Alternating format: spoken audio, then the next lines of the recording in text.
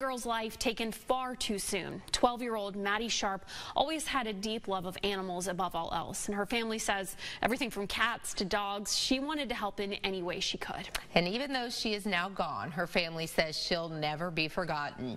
News Channel 3's Matt Blackritz, Blackritz introduces us to this week's hometown hero, Maddie Sharp.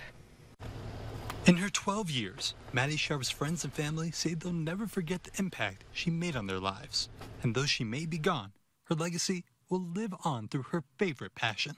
She loved animals, so she was already saving up her money for this Christmas to um, buy all the animals at the animal shelter stocking. She had already saved up over $500 for that. In Maddie's honor, three truckloads of animal supplies were brought to the Kanawha Charleston Humane Association, from food to crates to beds, because just as she did in life, Maddie always wanted to help animals in any way she could.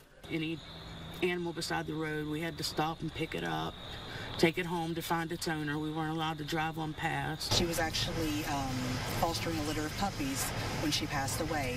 So, I mean, literally up until the time that she passed, it was her mission to take care of all animals. Melissa Harper says their two families have been friends for years, and since passing in August, it has been difficult for all of them. But it's because of the impact that Maddie made on every single one of them that she wanted to nominate her as this week's hometown hero. She's done so much and means so much to everybody. And us in WSAZ wanted to nominate her as the hometown hero to show everybody how special she's been to everyone. Oh, for me. I love you. She taught me to be better. She taught us all to be better. I just wish she could be here. A life lost too soon, but not to be forgotten by those who love her. Matt Lackritz, WSAZ News Channel 3, Kanawha County. Maddie's family says they plan to bring in this kind of donation to the Humane Association every year on Maddie's birthday in her honor. If you would like to nominate someone to be a hometown hero, just send us a letter to the address on your screen or send us an email to news at WSAZ.com.